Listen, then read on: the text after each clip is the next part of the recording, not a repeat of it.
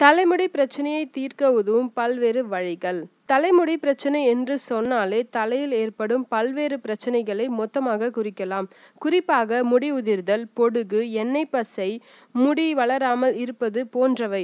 அவற்றை சரி செய்ய உதவும் வழிமுறைகளை இப்பொழுது பார்க்கலாம்.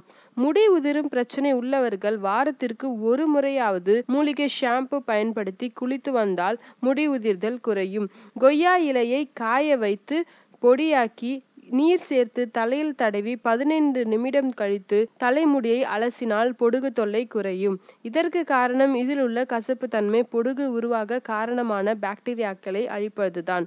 கொய்யா இலையை நீரில் போட்டு இருபது நிமிடம் ஊற வைத்து பின் அந்த நீரை பயன்படுத்தி தலைமுடியை அலசினால் தலைமுடி சுத்தமாவதோடு அதிகப்படியான எண்ணெய் பசை குறையும். தக்காளி பழத்தை தலைமுடியில் தடவி சிறிது நேரம் கழித்து தலைமுடியை அலசினால் பொடுகு பிரச்சனையிலிருந்து விடுபடலாம். தலைக்கு குளித்த பின்னர் ஹேர் ஜெல்லை தலைமுடி காய்வதற்கு முன்னரே தடவி வருகின்றனர். இதன் காரணமாகவும் முடி உதிர்கிறது. பொதுவாகவே ஹேர் ஜெல்லை பயன்படுத்த வேண்டாம். மேலும் இது போன்ற பல பயனுள்ள தகவல்களை பெற இந்த சேனலை சப்ஸ்கிரைப் பண்ணுங்க.